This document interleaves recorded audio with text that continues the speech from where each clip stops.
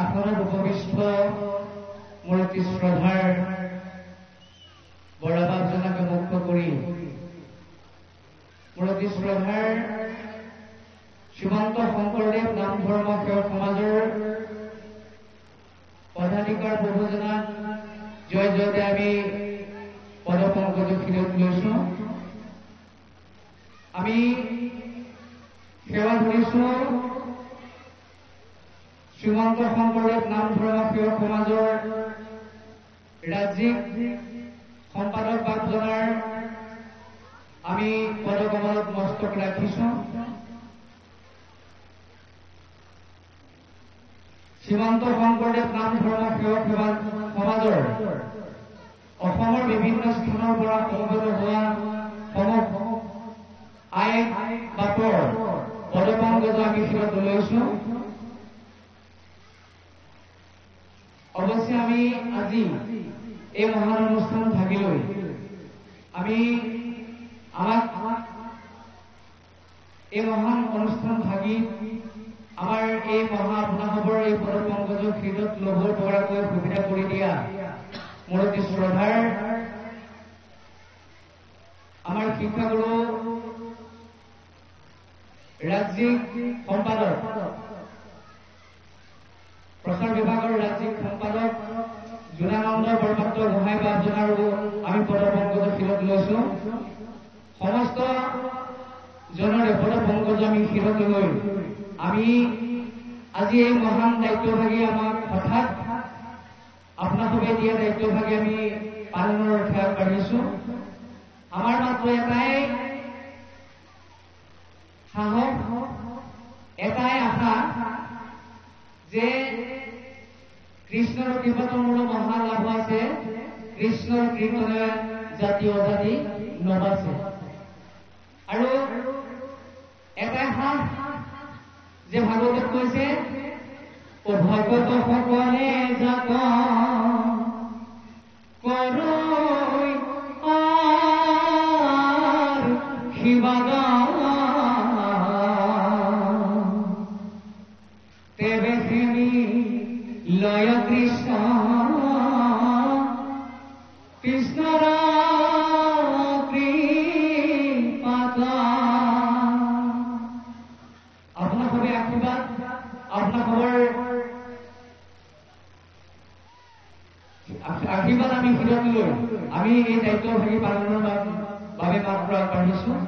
আমি সিমানৰ পাত্ৰ নহয়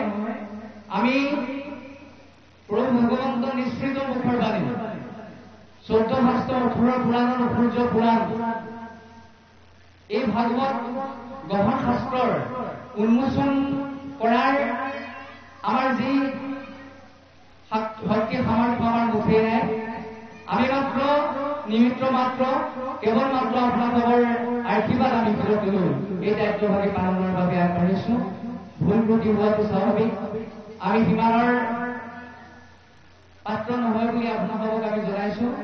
আমি এটা কথা আপোনাসকলক জনাই সুখী হওঁ আমি যোৱা দেওবাৰে যোৱা দেওবাৰে অৱশ্যে আমি অসমৰ এই মহান অনুষ্ঠান শ্ৰীমন্ত শংকৰদেৱ নাম ধৰ্ম সেৱা সমাজৰ আমি যোৱা দেওবাৰেহে আমি সংগীয় নিয়োগ অন্তিভুক্তি হৈছো আপোনাসকলক জনাই আমি সুখী হৈছো আপোনাৰ ঘৰত আজি ব্যথা পায় আপোনাৰ ঘৰৰ পদপংগত আমি শিৰত নবলৈ পাই আমি সঁচাকৈয়ে আনন্দিত হৈছো সুখী হৈছো অৱশ্যে সঁচাকৈ যদি আমি আজি অনুষ্ঠান থাকিলৈ নাহিলোহেঁতেন আমি জীৱনৰ এটা মহান দিন আমি হেৰুৱাবলগীয়া হলহেঁতেন আজি এই মহান অনুষ্ঠান তালিকাত উপস্থিত হোৱা নিজকে ধন্যবাদ দিছো আপনা পদপঙ্কজ আমি পুনৰ ফিৰতি লৈ আপোনাক অবৰ আশীৰ্বাদ আমি ফিৰতি লৈ আমি আমাৰ দায়িত্ব পালনৰ বাবে আগবাঢ়িছো ভুল ত্ৰুটি হলে আপোনাৰ বাবে ক্ষমা কৰিব কৃষ্ণ জয় ৰূপাংকৰ কৃষ্ণ আমি আজি ভাগৱতৰ এই মংগলাচৰণে আমি আৰম্ভ কৰিব বিচাৰিছো সমস্ত হাই বাপৰ একান্ত সহায় সহযোগিতা আমি কামনা কৰি আমি ভাগৱত ভাগে উন্মোচনৰ বাবে অর্থাৎ শ্রীকৃষ্ণ শ্রীকৃষ্ণের নাম মহাপুর শঙ্করদেব কৃত শ্রীমদ ভাগবত প্রথম প্রথম স্কন্ধ কৃষ্ণ কৃষ্ণ ভগবত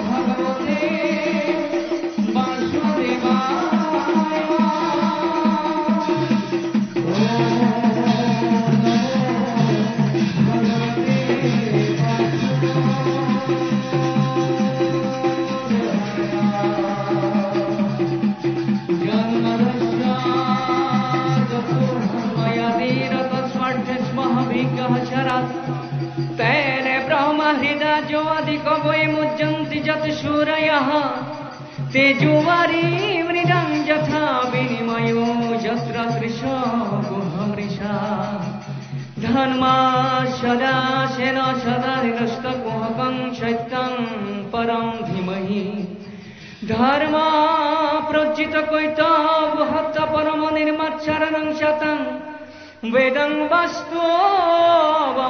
বস্তু শিবদং ত্রাপত্রয়ুমূলদম শ্রীমদ ভগবতে মহামনে কিতে কিংবা পরৈরেশ্বর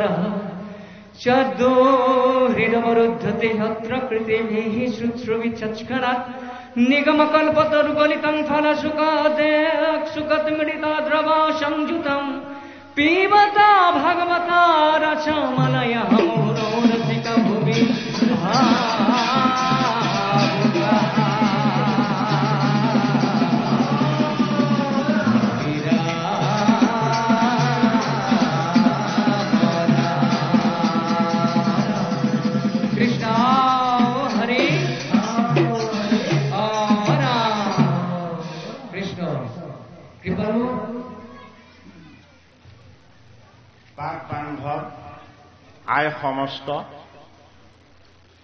বৈকুণ্ঠৰ কল্পতৰু ভাগৱত শাস্ত্ৰ ভগৱান কৃষ্ণৰ বাংময় মূৰ্তি জগতৰ শ্ৰীহৰি কৃষ্ণৰ উদ্ধৱ মহন্ত স্বৰূপ পৰম বান্ধৱৰ প্ৰতি পবিত্ৰ কৃপা এই মৈত্ৰধাম ত্যাগ কৰি জগতৰ শ্ৰীহৰি যোগেশ্বৰ কৃষ্ণ বৈকুণ্ঠ ধামলৈ যাত্ৰা কৰিব ওৰেটো জীৱন জগতৰ শ্ৰীহৰি কৃষ্ণৰ চৰণ সেৱা কৰি কৃষ্ণময় আনন্দ সত্তাত লীন গৈ থকা পৰম পবিত্ৰ পৰম মহন্ত যাক সকলোৱে জানিলে উদ্ধৱ মহন্ত বুলি এই উদ্ধৱ মহন্তক জগতৰ শ্ৰীহৰিয়ে কৃপা কৰি বৈকুণ্ঠলৈ যোৱাৰ আগত উদ্ধৱক দেখুৱাই থৈ গ'ল হে মোৰ পৰম বান্ধৱোধক মোৰ বৈকুণ্ঠ প্ৰয়াণ যদিও হব কোটি সূৰ্যৰ সমান উজ্জ্বল ঐশ্বৰ্যযুক্ত জগতৰ শ্ৰীহৰি কৃষ্ণক তোমাৰ দৰে ভকতৰ যোগেদি এই মত্য ধামত যি মোক পাবলৈ বিচাৰে যি মোক দৰ্শন কৰিব বিচাৰে যি মোৰ চৰণ স্পৰ্শ কৰি আশীৰ্বাদ লব বিচাৰে মই তোমাক দুহাত দাঙি বৰ দিছো ভাগৱত শাস্ত্ৰ আৰু মই এক হৈ সদায় থাকি যাম সেয়েহে ভগৱান কৃষ্ণৰ নিৰ্মল ৰূপ বৈকুণ্ঠৰ কল্পটোৰো ভাগৱত শাস্ত্ৰ এই শাস্ত্ৰৰ তত্ব অনাদি এই শাস্ত্ৰৰ তত্ব অনন্ত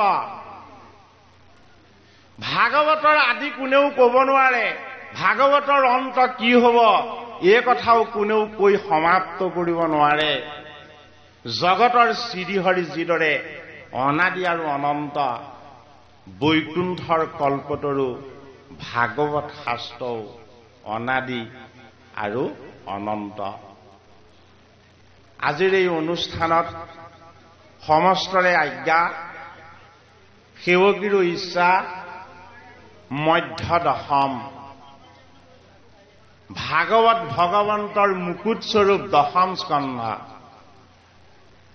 ভগৱন্তৰ মুখপদ্মস্বৰূপ দিব্য তেওঁ সৌন্দৰ্য এই মধ্য দশমৰ পাঠ আৰু পৰ্যালোচনা আমাৰ দৰে ক্ষুদ্ৰজনৰ কৰিবৰনো কি শক্তি সামৰ্থ্য আছে ভগৱন্তৰ চৰণত সেৱা জনাইছো আপোনাক ভকতস্বৰূপ ভগৱন্ত সমস্তজনৰ চৰণতেই আমি সেৱা নিবেদন কৰিছো শ্ৰদ্ধাৰ কৃপালু উদ্বোধক মহোদয়ে পাঠভাগ আৰম্ভণিৰে উদ্বোধন কৰক কৃষ্ণ কৃষ্ণ আমি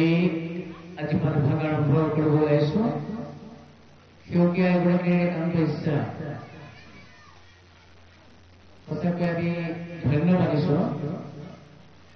যাৰ ল'ৰা ছোৱালী তুলন্য পূৰ্ণ অসংখ্যা সিজনেহে মাতে কৃষ্ণৰ কথা সেই পুণ্য পূণ্যবন্ত এগৰাকী আমি পুনৰ আমি সেৱা জনাইছো শ্ৰদ্ধা জনাইছো আৰু সেই কেৰাৰ ইচ্ছা আমি মাত্ৰ প্ৰথমদান পূৰণৰ বাবে আমি আগবাঢ়িছো এৰাৰ ইচ্ছা আজি গল্পস্তম্ভৰ মধ্যভাগত শ্ৰৱণ কীৰ্তন কৰিবলৈ পাঠ কৰিছে আমি আৰম্ভ কৰিবলৈ আছো এই মধ্যভাগৰ সংস্কৃতৰ পৰা অসমীয়ালৈ অনুদিত কৰিছে অনন্ত কন্দলী অনন্তচঞ্চলীকৃত শ্রীমদ ভাগবত প্রথম স্কন্ধের প্রভাব কৃষ্ণ প্রথম অধ্যায় পদ উজির পাংসা পূরণ কৃষ্ণ কৃষ্ণ সম্পর্ক জয় জয়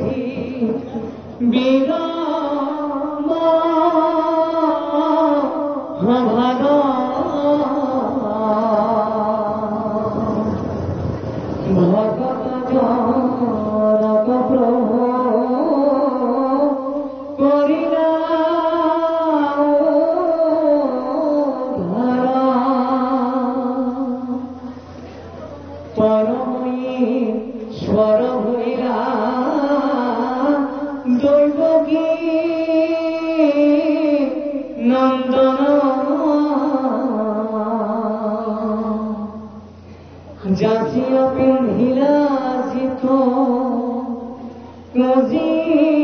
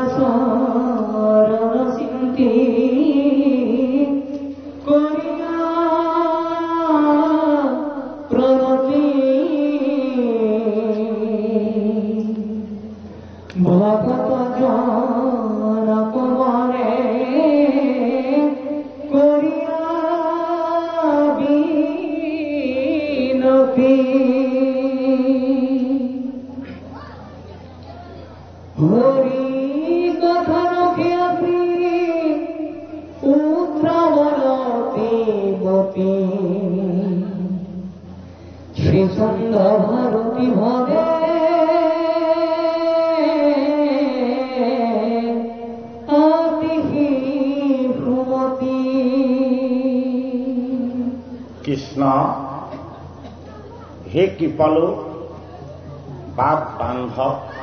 আই সমস্ত সমস্তজন ভকত বৈষ্ণৱৰ চৰণ আমি মস্তক ৰাখি আজিৰ এই ভাগৱত অনুষ্ঠান ভাগি পৰ্যালোচনাৰ আমি সেৱা কৰিবৰ কাৰণে আগবাঢ়িছো ভাগৱত জগতৰ শ্ৰীহৰি কৃষ্ণৰ ভকতিৰ অমৃতময় সমুদ্ৰ এই অমৃতময় সমুদ্ৰৰ পাৰত আমি সেৱক হিচাপেও এটি তেনে সাধাৰণ দিব নাহে ভাগৱতৰ পৰ্যালোচনা কৰিব পৰাৰ ধৃষ্টতা আমাৰ লগত নাই যি শাস্ত্ৰ শ্ৰৱণ কীৰ্তন কৰিলে জীৱই শিৱৰ তত্বত দৰ্শন পাৰিলে যি শাস্ত্ৰৰ ফালে চাই প্ৰণাম কৰি দিলে জীৱই সমস্ত পাপৰ পৰা মুক্ত হৈ যায় যি শাস্ত্ৰৰ নাম স্মৰণ কৰি দিলে বৈকুণ্ঠত বাস কৰা জগতৰ শ্ৰীহৰি কৃষ্ণই মোহন বাণীলৈ নৃত্য কৰি দিয়ে সেই পবিত্ৰ ভগৱন্তৰ পাংমৰিবোৰ ভাগৱতক আমিনো কেনেদৰে পৰ্যালোচনা কৰিম ভগৱন্তৰ পবিত্ৰ এই তত্ত্ব কথা আমি শ্ৰৱণ কীৰ্তন আৰু মনন কৰি মানৱ ৰূপেৰে যে জগতৰ শ্ৰীহৰিয়ে আমাক সমস্তকে এটি হৰি সেৱাৰ ৰাস্তা দিলে এই হৰি সেৱাৰ ৰাস্তাহে ভাগৱত তথা শ্ৰৱণ কীৰ্তন আৰু মনন ভাগৱতৰ দশম স্কন্ধ ভাগৱত ভগৱন্তৰ মুখপদ্ম সেইবাবে ভাগৱত দশম স্কন্ধত তিনি চোৱা হৈ বিভক্ত আদি চোৱা মধ্য চোৱা আৰু শেষ চোৱা ভগৱন্ত নিগুণ নিৰাকাৰ তত্বক বিদিত কৰি ভাগৱতৰ দশম সগুণ সাকাৰত জগতৰ শ্ৰীহৰি কৃষ্ণই প্ৰত্যেকৰে হৃদয়ত নৃত্য কৰি দৰ্শন দিয়াৰ এক দিব্য ব্যৱস্থা সেইবাবে আজি দশমত আমাক প্ৰত্যেকেকৈ বুজাই দিব বিচাৰিলে হে নৰম মই তোমালোকক প্ৰত্যেককে মথুৰা ৰূপী মায়া আৰু মোহৰ পাৰত ৰাজসিক আৰু তামসিক অহংকাৰৰ ভাগ দি একো একোজন যুগান্ত কংশৰাই কৰি এই জগতলৈ পঠাই দিছো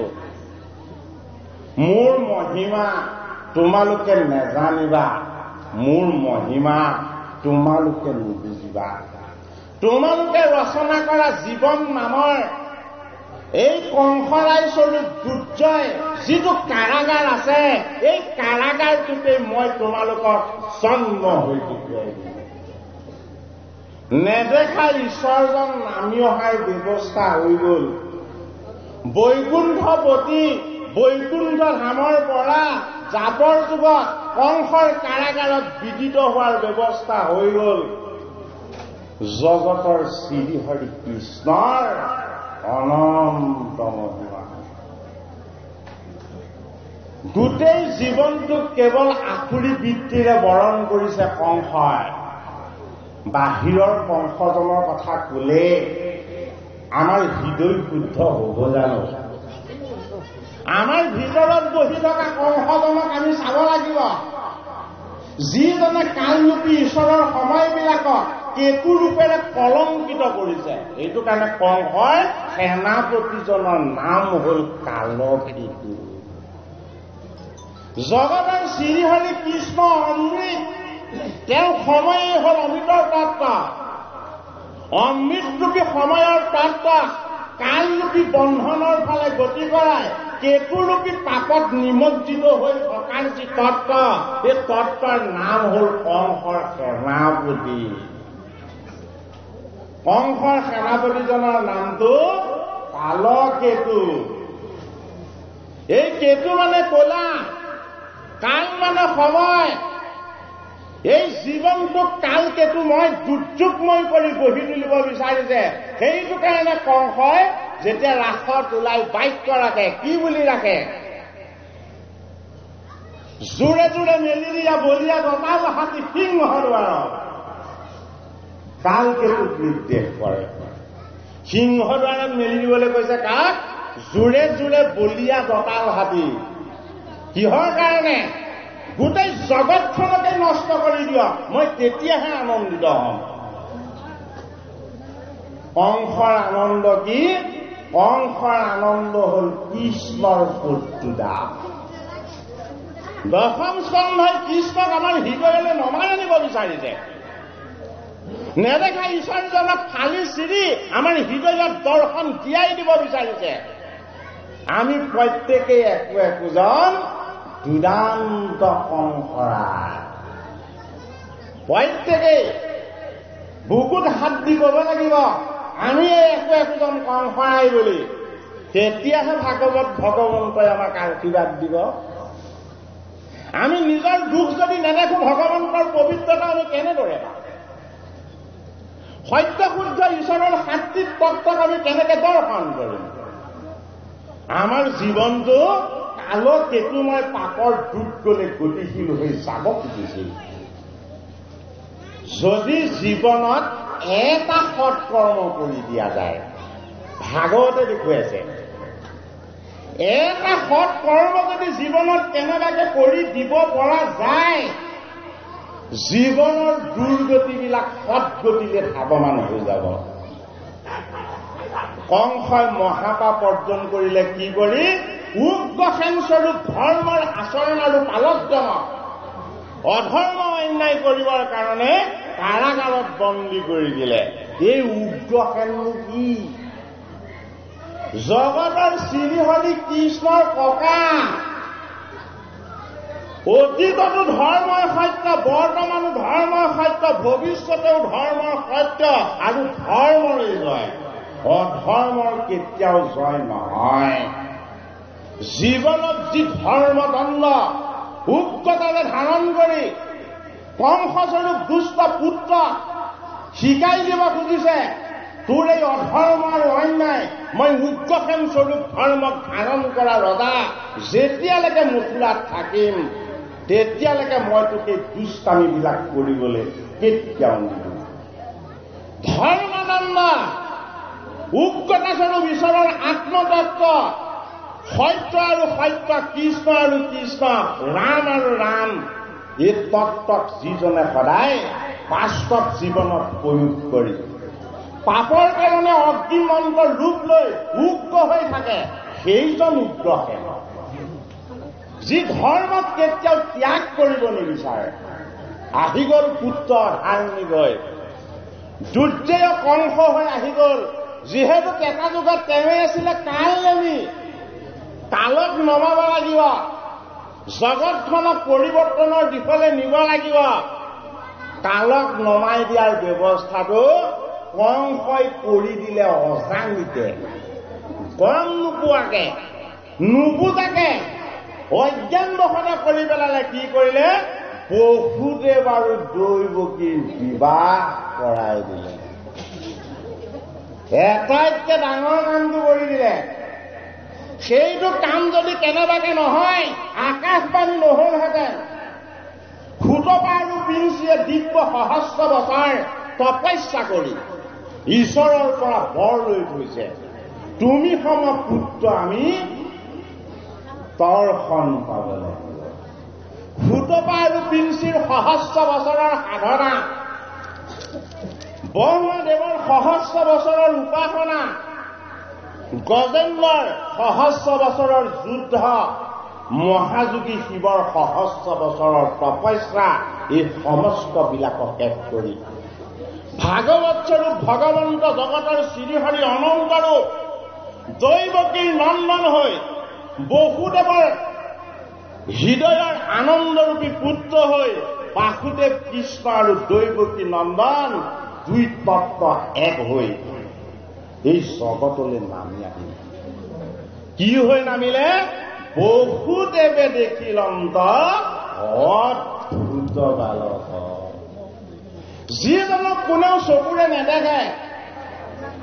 যিজনক কোনেও কাণেৰে নুশুনে যিজনক কোনেও স্পৰ্শ কৰিব নোৱাৰে সেইজন মত্যভূমিলে নামি দিব কেতিয়া নামিলে কংশই কৰা এটা ভুলৰ কাৰণে সংসৰ কাৰণে ভুল আৰু আমাৰ কাৰণে চিয়াই হল অমৃত কি কৰিলে বসুদেৱ আৰু দৈৱকীৰ বিবাহ কৰাই দিলে আমাৰ ৰাসত ওলোৱা বসুদেৱ আৰু দৈৱকীক দেখিলে এজন পুৰুষ এজন প্ৰকৃতি তেনেকেই ভাবি থকা হয় সেই দুজন বসুদেৱ আৰু দৈৱকীকে আমাৰ দেহত বহুৱাই থৈছে চিৰিয়ৰীয়ে এই দেহ তত্ত্বত আমি দেখা পাব লাগিব বসুদেৱ আৰু জৈৱকী কেনেবাকে দেহ তত্ত্বত থকা বসুদেৱ আৰু জৈৱকী যদি কেনেবাকে এক হৈ যাবলৈ হয় কালকে সেনাপতি পাতি থোৱা পুতনা ৰাজ্যটিক নিজৰ অনুচৰ পাতি থোৱা তিন্নাবত্ত অঘাসুৰ বকাসুৰ ইত্যাদি অসুৰবিলাক নিৰ্মাণ কৰি থকা বিৰাট শক্তিমন্ত খং হয় নুশুনা কথা শুনিবলৈ পাই যাব বহুদেৱ দৈৱকী বিবাহ হোৱাৰ লগে লগে আকাশবাণী আপোনা আপুনি হৈ গ'ল জগতৰ শ্ৰীহৰি কৃষ্ণই নিজেই পানীৰ ৰূপ ল'লে জগতৰ শ্ৰীহৰি কৃষ্ণ বেদবক্তা সেই সময়ত আকাশত গৰ্জন কৰি বৃষ্টিপাত আৰু ধুমুহা ৰচনা কৰি মেঘৰ গৰ্জনত জগতৰ শ্ৰীহৰি কৃষ্ণই ঘোষণা কৰিলে হেৰৌ মূৰ্খ কংহা এই বসুনে বাৰু দৈৱকীৰ তই বিবাহ কৰাই দিলি এই অষ্টম পুত্ৰৰ হাতত তোৰ মৃত্যু হ'ব আমি প্ৰত্যেকেই মৃত্যুমুখী জীৱ মৃত্যু কিন্তু আমি কামনা নকৰোঁ কিয় আমি প্ৰত্যেকেই একো একোজন চূড়ান্ত সংসৰা মৃত্যুক যি ভয় কৰে সেয়া কৰ্ম মৃত্যুক যি স্বাগতম কৰে আহা মৃত্যু তুমি মোৰ ওচৰলৈ আগবাঢ়ি আহা মই তোমাক স্বাগতম জনাইছো তুমি যদি মোৰ ওচৰলৈ আহি যোৱা মই হৰিক সম্পূৰ্ণৰূপেৰে পৰিপূৰ্ণ ৰূপত পাইবা সাত দিনৰ অভিশাপ পাই পৰীক্ষিতে অকণমান বেজাৰ কৰিছিল কৃষ্ণৰূপী আনন্দময় সত্তাক গংগাৰূপী গোবিন্দৰ ভক্তিৰ পাৰত পৰীক্ষিতে যেতিয়াই বিচাৰি গুচি গল গুৰুৰূপী সুখ গংগাৰ গঙ্গাৰ পাৰলে আমন্ত্ৰণ আপোনাৰ আপুনি আহি গল পৰীক্ষিত পাহৰি থাকিলে তেওঁ তথ্যকে দংশন কৰিব পৰীক্ষিত পাহৰি গল সমিত্ৰীগীৰ পুত্ৰ সিঙ্গিমুনিয়ে যে পৰীক্ষিতক অভিসম্পাদ দিছিলে পৰীক্ষিত পাহৰি থাকিলে তেওঁ যে মৃত্যুমুখী মানৱ বৈকুণ্ঠৰ ভাগৱত শাস্ত্ৰ দশমত কৃষ্ণৰ ভয় প্ৰথম প্ৰথম স্তম্ভতে ভাগৱতত পৰীক্ষিতৰ মৃত্যুক জয় এই বৈকুণ্ঠৰ কল্পতৰু ভাগৱত শাস্ত্ৰ যি শ্ৰৱণ কৰিব প্ৰথম ক্ৰিয়া কৰিব তাৰ হৃদয়ত কি মৃত্যুক জয় কৰিব পাৰিব মৃত্যুনো কি বস্তু তেওঁ অনুভৱ কৰিব পাৰিব সপ্তাহৰ দিন সাতটা আঠ নম্বৰ দিন কোনেও ৰচনা কৰিব পৰা নাই এই সাতটা দিনতে পৰীক্ষকক চিংগিমুনিয়া দিয়া অভিসম্পাত আমাৰ সমস্ত ৰেখাত লাগি গ'ল এই সাতটা বাৰৰ চাকময়াতে আমি ঘূৰি আছো আঠ নম্বৰ দিনটো আমি কোনেও ৰচনা কৰিব পৰা নাই আমি প্ৰত্যেকেই সাতদিনীয়া পৰীক্ষিত দিনবিলাক ৰোটেশ্যনহে হয় কোনেও হ্ৰাস বৃদ্ধি এইবিলাক কৰিব নোৱাৰে পৰীক্ষিতৰ অভিসম্পাদক সফল কৰি আমি প্ৰত্যেকেই পাণ্ডৱৰ নাতিস্বৰূপ পৰীক্ষিত হৈ ভক্তিৰূপী গংগাৰ পাৰত সুখৰূপী গুৰুৰ মুখেৰে পৰম পবিত্ৰ অমৃতময় এই ভাগৱত কথা যদি শ্ৰৱণ কীৰ্তন কৰো জগতৰ শ্ৰীহৰি আদিত্যৰূপী ছয় আমাৰ হৃদয়ত বসত হৈ যাব এই কংসৰাই বৃত্তিবিলাক বেয়া আছিলে কংসৰ বৃত্তি কি কংসৰ বৃত্তি হল ৰাজসিক আৰু কামগী ৰজগুণ আৰু তমগুণ ৰজগুণত কি থাকে ৰজগুণত থাকে ভোগ ভোগ মানে বিপৰীত শব্দটো ৰোগ ভোগ যিমান বেছি হ'ব বেমাৰ সিমান বেছি হ'ব গতিকে ৰজগুণৰ প্ৰথমটো ভোগ তাৰ পৰিণামটো হ'ল ৰোগ ৰজগুণৰ দ্বিতীয়টো হ'ল কি বিলাস আৰু তাৰ পৰিণামটো কি এলাহ যদি বিলাস হয় সিফালে এলাহ হব এলাহ মানে কি এলাহ মানে কুম্ভকৰ্ণ ৰামৰ শত্ৰু ৰামে কৈ জগাব লাগিব এই কুম্ভকৰ্ণ স্বৰূপ এলাহ আমাৰ যাতে নাহে দশম স্কন্ধ আমাক দেখাইছে কংসৰাই ভিত্তি ভূত আহিলে ৰোগ আহিব বিলাস আহিলে এলাহ আহিব আৰু যদি ঐশ্বৰ্য আহি যায় তেতিয়া তাতকেও ডাঙৰ শত্ৰু আহিব কি গৰ্ব ঐশ্বৰ্য আহিলে গৰ্ব আহিব আৰু গৰ্বৰ লগত অহংকাৰ অসত হৈ পৰিব ৰজগুণটো গৈ নিজে নিজে কেনেকে গুণৰ ৰূপ ল'ব গমেই নাপাব অকণমান কথাতে খং উঠিব কিবা এটা নাপালে জিকাৰ খাই উঠিব সন্মুখত দেখাজনক গুৰু গোহাঁই নমনা হব ৰজগুণে কলৈ লৈ যাব আপুনি আৰু মই গম নোপোৱাকে তমু গুণলৈ লৈ গুচি যাব এই তমু মই ৰচনা কৰিছিলে কোনে তমু মই ৰচনা কৰিছিলে সৃষ্টিকৰ্তা ভগৱানে মহামুখ মুখ অন্ধকামিশ্ব এইবিলাক তমুময় এই তমুময়বিলাকে আমাক কি কৰিব হৰিৰ সেৱাৰ পৰা আঁতৰ কৰি দুৰ্জয় দুৰ্জন কংসৰ কাৰাগাৰটোৰ মাজলৈ লৈ যাব কাৰাগাৰটো কংসৰ বিবাহ কৰিছিলে বসুদেৱ আৰু দৈৱকী কৰাই দিছিলে আৰু সেই বিবাহ কৰা এতিয়া বসুদেৱ আৰু দৈৱকী কংসৰ কাৰাগাৰত মায়াৰ শিকলিৰে ভৰি হাতত বান্ধি বন্দী কৰি ৰাখিব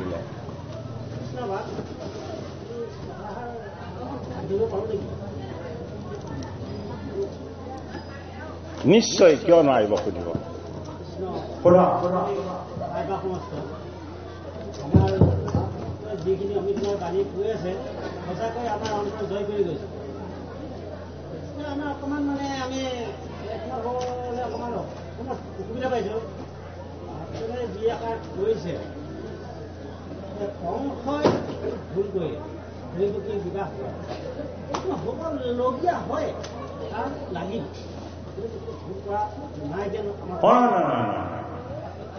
আপুনি মই কৰা কথা কোৱা নাই ৰজগুণি বুলি কংস সেইটোৱে ভুল হ'ল তম বুলি কংস সেইটোৱেহে ভুল হৈছে তাৰমানে উক্তখনক বন্দী কৰি থোৱাজনে এনেকুৱা ধৰণৰ পবিত্ৰ কাম এটা কৰি দিব নালাগিছিল আপুনি কথাষাৰ গভীৰভাৱে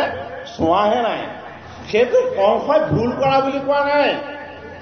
কংসৰ জীৱনত তেনেকুৱা ধৰণৰ দুৰ্ঘটনা ঘটিব নালাগিছিল তেতিয়া তেওঁ ৰজা হৈয়ে থাকিলেহেঁতেন ৰজগুণ আৰু তমগুণ ৰজা হৈয়ে থাকিলেহেঁতেন কংসই ভুল কৰিছে বুলি এইটো অৰ্থতে কোৱা হৈছে যে অপাঞ্চিতভাৱে নভৱা নিচিন্তাকে ডাঙৰ কাম এটা কৰি দিলে বহুতে আৰু দৈভোগীৰ বিবাহ এই বস্তুটো আপোনাক বুজাই কম আপুনি শুনি থাকক গোটেই বস্তুটো কঢ়িয়াই ওলাব আমি তালৈকে যামগে য'ত আপুনি চিত্ৰটো দেখা পাইছে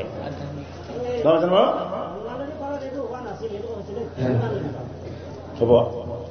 নদীটোক আমি নদী বুলি ক'ব বিচৰা নাই শক্তি গংগা বুলি কৈছে আপুনি ভালকে শ্ৰৱণ কৰক কথাষাৰ নদীখন গংগা বুলি কোৱা নাই শক্তিৰূপী গংগা বুলি কোৱা হৈছে জগতৰ শ্ৰীহৰি কৃষ্ণৰ পৰা নিগৰিত হৈ অহা অমৃতময় পানী হ'ল ভকুতি কম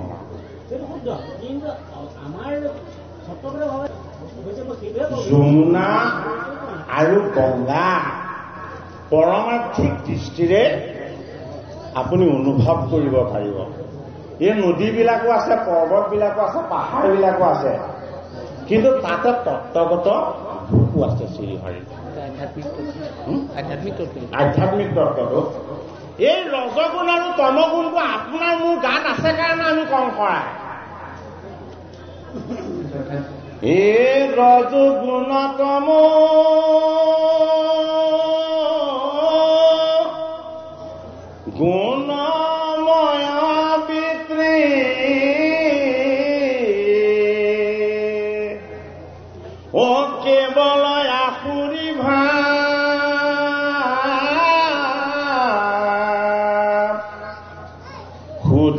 সত্ৰবিত্ৰী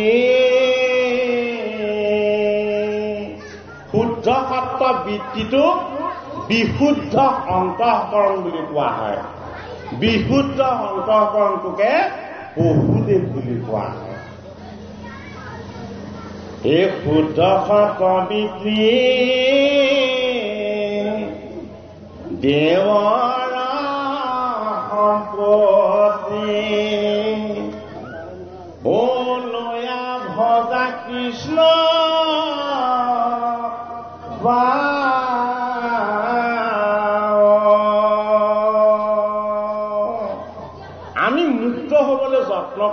লাগিব আমি বন্ধন মুক্ত হবলৈ যত্ন কৰিব লাগিব তমু গুণৰ পৰা শ্ৰীহৰি অত্যান্তিক সুখ সদায় গুণত সাত্বিক গুণত প্ৰতিষ্ঠিত হয় এই সাত্বিক গুণৰ প্ৰতিভূ হল কোন দৈৱগী দৈৱকী এগৰাকী দেৱী হয় পিঞ্চিৰো ৰূপেৰে তেওঁ জগতৰ শ্ৰীহৰি দিব্য সহস্ৰ বছৰ তপস্যা কৰাটো সঁচা এয়া কথা কোনেও ওলাই কৰিব নোৱাৰে আমাৰ দেহ তত্বটো এগৰাকী দৈৱকীক স্থান দিছে জগতৰ শ্ৰীহৰি এই দেহ তত্বত থকা দৈৱকীগৰাকীক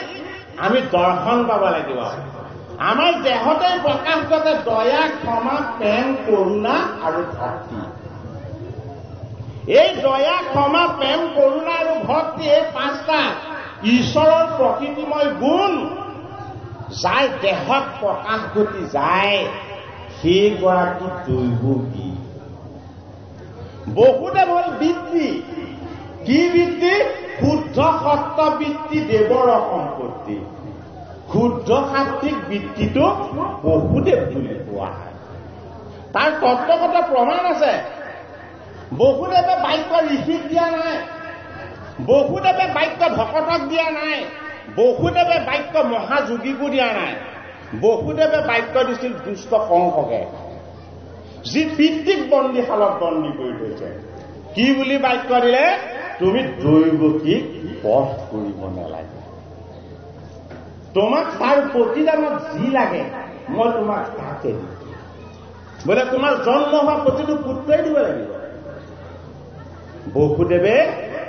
সূত্ৰকো কংসৰ হাতত তুলি দিয়াৰ সিদ্ধান্ত ল'ব পাৰিলে সত্য শুদ্ধ বৃত্তি বাক্য যদি দিছো সেই জগতৰ শ্ৰীহৰি কৃষ্ণ সেই জগতৰ হৰি বাক্য ৰক্ষা কৰোতা বোলা তুমি মোক তুমি দিয়া বাক্যৰ পৰা কেতিয়াও বিচলিত নকৰিবা ছটা পুত্ৰ প্ৰাণৰ পুত্ৰত ঘাতকৰ হাতত যি তুলি সত্য ৰক্ষা কৰে সেইজন বহুদেৱ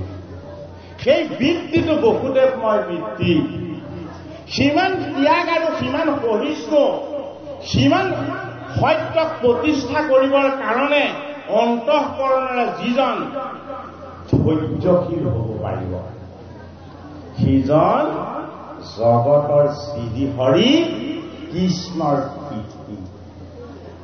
এখন ডাঙৰ তত্ব ইয়াত লুকাই থকা নাই এই ৰজগুণি কংসত কোনেও বহ কৰিব নোৱাৰে জগতৰ শ্ৰীহৰি কৃষ্ণ ৰাখে যিহেতু ৰজগুণ তমগুণ সতগুণ জগতৰ শ্ৰীহৰি কৃষ্ণৰ ব্ৰহ্মাণ্ড নিৰ্মাণৰ মায়াৰ সত্তা এই মায়াৰ সত্তাৰ পৰা ভগৱন্ত প্ৰভুৱে কৃপা কৰি তেওঁ জন্ম কৰ্ম তত্ব শ্ৰৱণ কীৰ্তন কৰি তেওঁ উপাসনা কৰা ভকত যাতে মুক্ত হৈ যাব পাৰে সেইবাবে কংসৰাই অন্ধকাৰ কাৰাগাৰত জগতৰ শ্ৰীহৰি কৃষ্ণ সমস্ত অন্ধকাৰক আঁতৰ কৰি প্ৰতিভাত হৈ গ'ল জপনাবিলাকত কঠোৰ শিকলিৰে সৈতে বান্ধি থোৱা আছে সন্মুখত ৰখিয়াক থিয় কৰাই যোৱা আছে বহুতে বাৰু দৈৱকীয়ে সন্তান জন্ম দিলেও তাৰ পৰা কেতিয়াও কোনোজনেই সেই সন্তানক মুক্ত কৰি উলিয়াই নিব নোৱাৰিব চিৰিহৰি যদি কেনেবাকৈ প্ৰকাশ হৈ যায় জগতৰ শ্ৰীহৰি কৃষ্ণ যেতিয়া মধ্যৰাতি জন্ম হৈ গ'ল জন্ম হোৱাৰ আগতে সমস্ত দেৱতাই আহি গৰ্ভস্তুতি কৰিলে জগতৰ শ্ৰীহৰি ভূমিষ্ঠ নহওঁতেই গৰ্ভস্তুতি কৰিলে এই গৰ্ভস্থুতিৰ যোগেদি আমাক বুজাইছে প্ৰত্যেকৰে হৃদয়ত জগতৰ শ্ৰীহৰি কৃষ্ণ বাস কৰিছে দেৱতাবিলাকেও সেই কৃষ্ণ সত্তাকেই হৃদয়েৰে উপাসনা কৰে যি কৃষ্ণ সত্তাক আমি হৃদয়ত দৰ্শন পোৱা নাই কংসৰ অন্ধকাৰ কাৰাগাৰত কৃষ্ণৰূপী ঈশ্বৰ দৈৱতী দয়া ক্ষমা প্ৰেম কৰোণা আৰু ভক্তি এই পাঁচটা পৰম পবিত্ৰ শুদ্ধ কাৰ্তিক গুণত গৰ্ভস্থিত হৈ পাহিবলৈ ল'লে এটি দুটিকে ছটি পুত্ৰ হাতত তুলি দিলে জগতৰ শ্ৰীহৰি কৃষ্ণ আহে পুত্ৰ ৰূপত পুত্ৰৰ মোহ আৰু মায়া সমস্তৰূপে মুক্ত কৰি দিবৰ কাৰণে পিতৃ আৰু মাতৃ বহুদেৱে পুত্ৰৰ মোহ দৈৱগীয়ে পুত্ৰৰ মায়া সংশয় কাৰাগাৰত যেতিয়া উলিয়াই নি ছটা সন্তান বধ কৰি দিলে তেতিয়াই তেওঁলোকৰ পুত্ৰৰ মোহ আৰু মায়াটো সম্পূৰ্ণৰূপে চিহ্ন হৈ গ'ল আমাৰ আত্মাৰ আকৰ্ষণ হ'ব লাগিব কাৰ আকৰ্ষণ হ'ব লাগিব আত্মাই আকৰ্ষণ কৰিব লাগিব পৰমাত্মা আত্মাৰ লগত পৰমাত্মাৰ আকৰ্ষণ আৰু বিকৰ্ষণ এই তত্বটোকে কোৱা হ'ল সংকৰ্ষণ বুলি এই সংকৰ্ষণ কাৰ নাম এই সংকৰ্ষণ হ'ল বলৰাম প্ৰভু নাম কৃষ্ণ জন্ম হোৱাৰ আগত সপ্তম পুত্র রূপে বলরাম প্রভু সেই কংসৰ কাৰাগাৰত চন্ম হ'ল জগতৰ শ্ৰীহৰিৰ মায়াৰ সত্তাৰে ৰোহিণীৰ গৰ্ভৰে জগতৰ শ্ৰীহৰিৰ তত্ব স্থানান্তৰ কৰি দিয়া হ'ল জগতৰ শ্রীহরি কৃষ্ণর ঐশ্বর্যময় তত্ব বিষ্ণু সাতটা সমস্ততে বৰ্তমান জৈবকীৰ গৰ্ভত প্ৰতিষ্ঠিত হয়েও বলৰামস্বৰূপ ঈশ্বৰেৰ আত্মতত্বৰ পৰম পবিত্ৰ ঈশ্বৰ শক্তি ৰোহিণীৰ গৰ্ভটো প্ৰতিষ্ঠিত হৈ যাব পাৰে আমাক বুজাইছে মানৱীয় দৃষ্টিভংগীৰে যিটো সম্ভৱ নহয়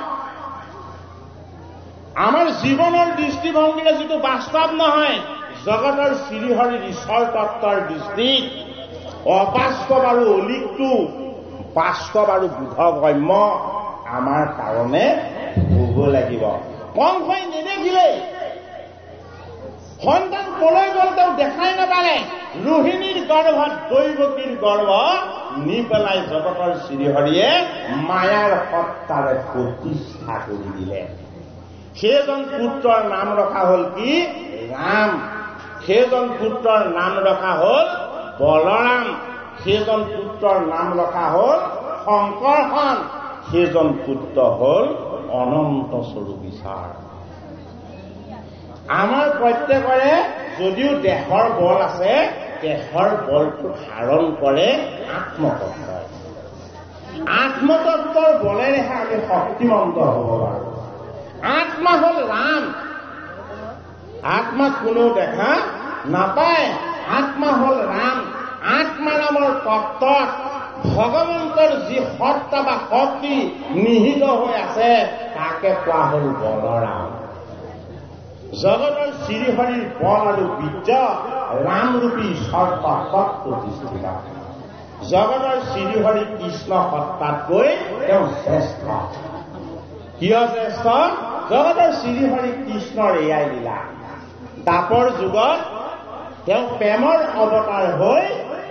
অনুজ হৈ কৃষ্ণৰ ওপৰত আহিব শ্ৰেষ্ঠৰ ওপৰত আহি গ'ল জগতৰ শ্ৰীহৰিৰ আশ্ৰয় স্থল যাৰ নাম হ'ল অনন্ত সীমাহীন জগতৰ ঈশ্বৰজন বলৰাম ৰূপত